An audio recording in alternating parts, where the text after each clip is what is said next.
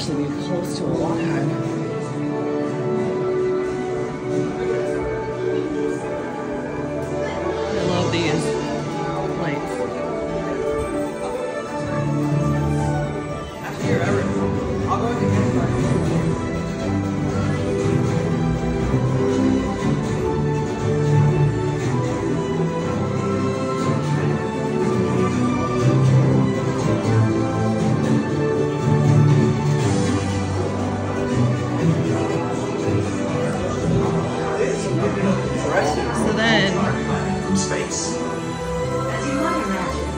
Our energy needs are vast.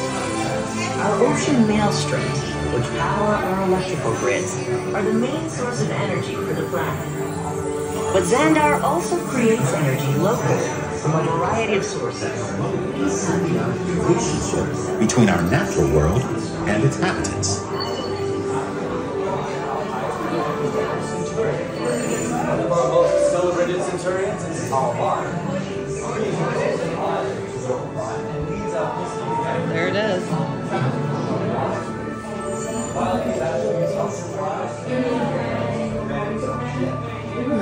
is like seriously gonna be a walk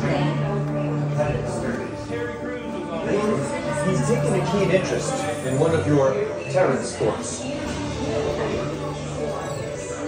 After Centurion comes the rank of Meridians.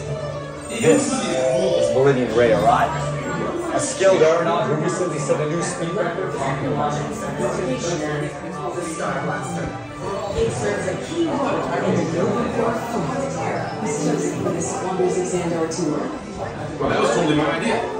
And Epcot, too, because I love that place. It's awesome. I went there as a kid, and I, I, I mean, I cannot wait to get to go back and ride Horizons. Also want to see the energy, dinosaurs, and, of course, here, the Veggie Veggie Fruit Fizz. It's the best. Okay, Something gonna tell him? I'm sure it will be wonderful for you to relive all of those memories again. And it's thanks to the Guardians that Xandar is reaching out to other cultures across the galaxy.